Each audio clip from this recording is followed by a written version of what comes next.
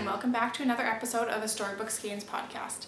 Now, if you've noticed perhaps that um, things are a little bit different, and uh, I had put up a few episodes and I kind of took them down and I wasn't going to do them, but I still really want to share. It just, I was hoping to do it more on a weekly basis and that just seems like a little bit too much. Or maybe that I just don't have enough to say on a weekly um, sort of schedule. So I thought I would try something new and do kind of a monthly update. So then there's a lot more content and a lot more of the actual um, knitting and the making and that sort of thing. Um, so I hope that you will join me in this.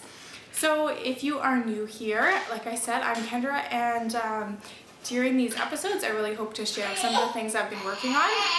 Really hope it's not going to be too noisy, but we'll do our best. Um, this sort of podcast is all about knitting and spinning and some sewing and crochet and just other general making. So I want this to be a monthly record of what I've been working on and hope that it is of interest to some of you. So I haven't done this for a while and I've got quite a lot to share, so let's just jump right in. The first project I hope to share with you was done more than a month ago, but I haven't shared it really anywhere, so I thought I would start by doing it here. Um, it is the Offhand Lace Shawl by Caitlin ffrench. Um, I had dyed this yarn. This is a Dale Garn Falk yarn. It's a super wash wool. It's a super simple pattern. And it was just a really fun one to work on. I'm really happy with how the color looks. It's green with some really nice pops of uh, blues and magenta and a few other colors in there as well.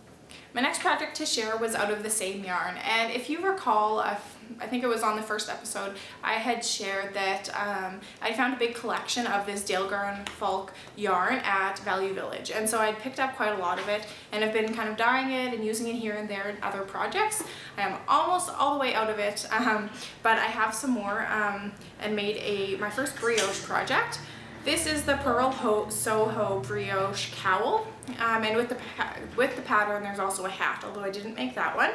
So I dyed up a couple different colors for this. It has this kind of midnight color as the background on the right side, which is um, different shades of navy and black and a nice dark, but with a little bit of kind of tonal variation in there.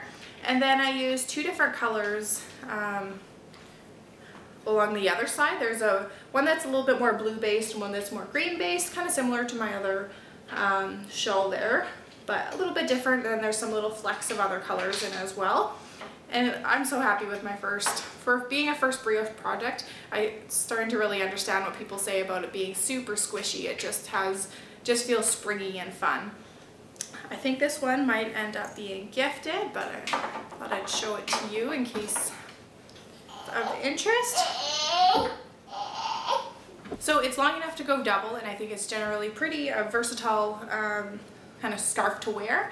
And we have long winters here, so a lot of neckwear is a good thing.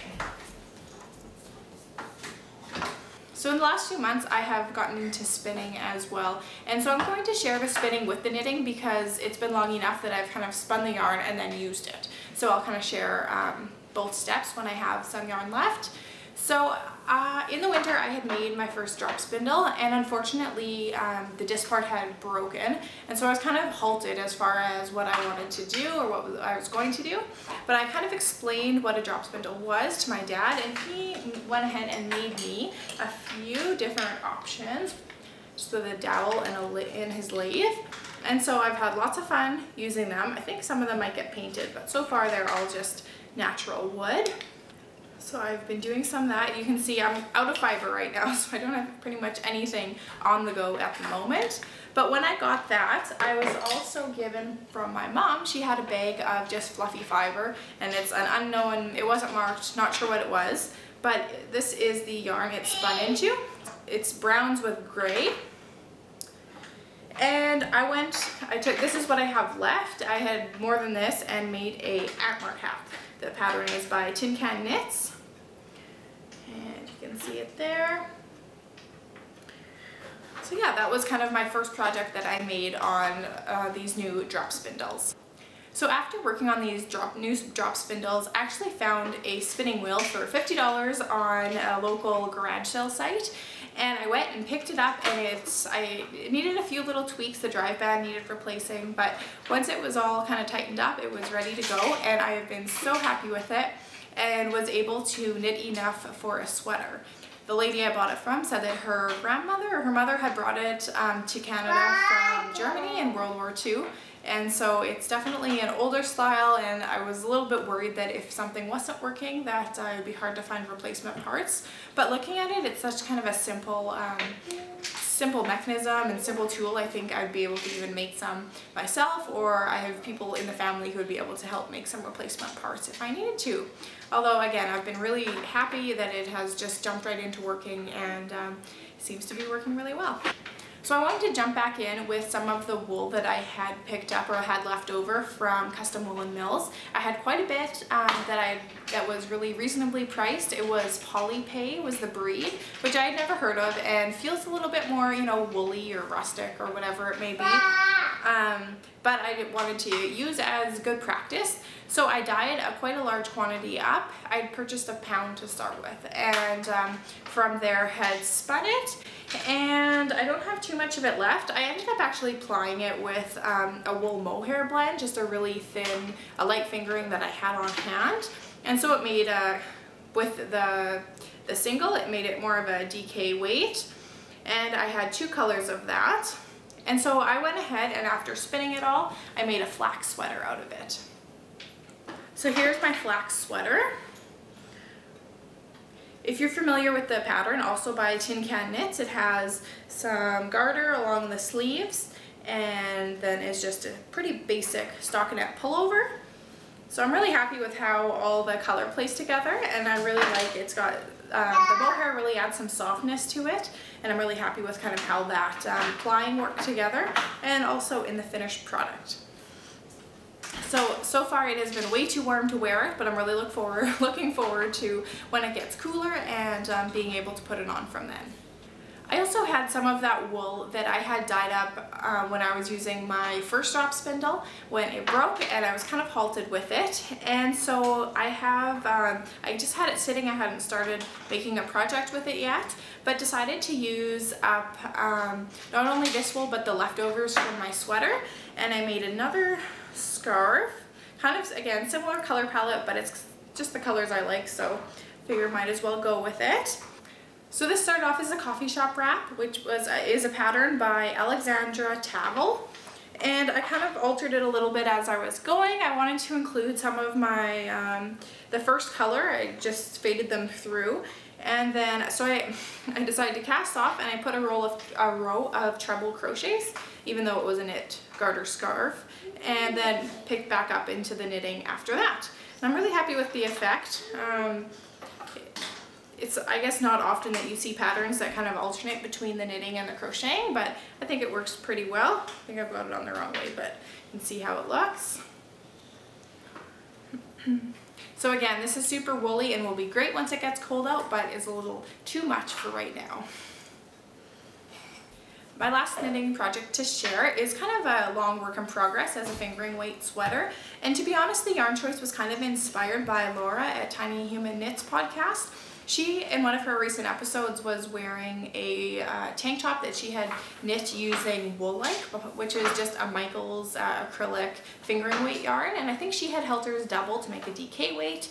Anyways, I was surprised how nice it looked, and I've used Woolike in the past for other things, and it's quite soft and is very reasonably priced. I, I think it's about $4 a ball here where I am. And so I picked up a couple balls and started a new sweater project. This is the Risen Sweater by Melanie Berg. I'm knitting mine in gray. Might be a little hard to tell here. It's just a top-down raglan with a really interesting collar detail and it has um, a simple cabling along the, um, right before you put the, the hem on and at the sleeves. So it's making pretty good progress so far. I am about, I don't know, halfway between the underarm and the hem. And I'm just continuing working on this as kind of a work of love, a little at a time, and um, just lots of stock in it right now. I'm knitting this sweater on my size 5 Boy or boil needles. They are an interchangeable set that I have got a ton of use out of. And actually, just this time as I was putting them on, I noticed they were getting a bit of a ridge at the joint. So I went ahead and used a Dremel to smooth it out. And I am surprised by how well it worked because they're just like new again. They are tight and smooth, which is exactly what I wanted. So actually while I was dremeling, I thought I would give a little bit of attention to the tips. So I actually sharpened these up. I felt a little weird, like I was making a weapon, but it worked surprisingly well. I want to do maybe some of the others.